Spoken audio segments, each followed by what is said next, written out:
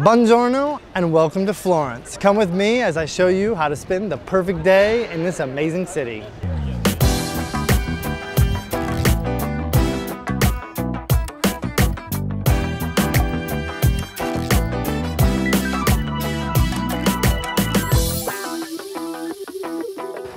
Florence is said to be the birthplace of the Renaissance, and you'll quickly confirm this by just a quick walk around the city center. Start off in Piazza del Duomo and see the city's main church, Cathedral of St. Mary of the Flower. The exterior of the basilica is faced with polychrome marble panels in various shades of green and pink bordered in white. Also, you'll notice the massive dome. It's the biggest brick dome ever constructed.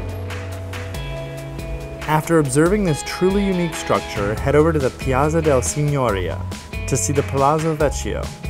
In front, you will notice the famous Michelangelo sculpture David. However, this is not the original sculpture, but when the original was created, this is where they put it.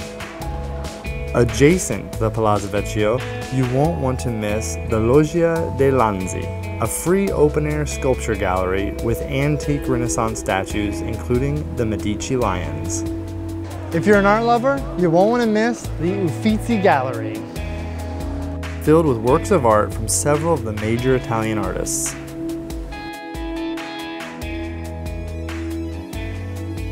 My favorite thing about the Uffizi Gallery is the way they've set up the exhibits. They're all chronologically in order, which shows you the evolution of the painting styles from the 1300s all the way to the end of the Renaissance. Not far from the gallery, you will want to see the Ponte Vecchio, another iconic symbol of Florence. Here you will see great views of the Arno River as well as some antique and modern jewelry stores. What would the perfect day in Florence be without trying some typical food? But let's take it a step further and let's learn how to make it. So I signed up for a pizza and gelato preparation class. I hope you're hungry.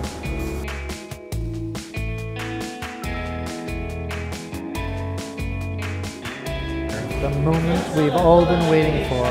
Ooh.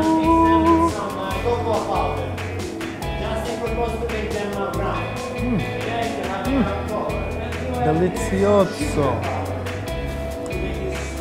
Bello. Grazie.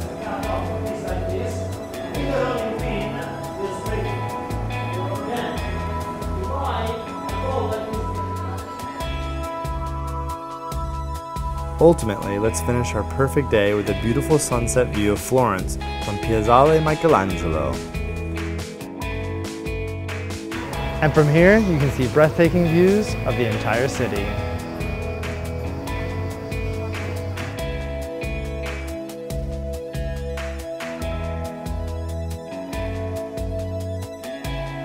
Well, that ends our perfect day in Florence. I hope you had a great time. I had a fabulous time. If you need help planning your next trip to Florence or possibly a day trip outside of Florence, check out the Get Your Guide website. Until next time, arrivederci.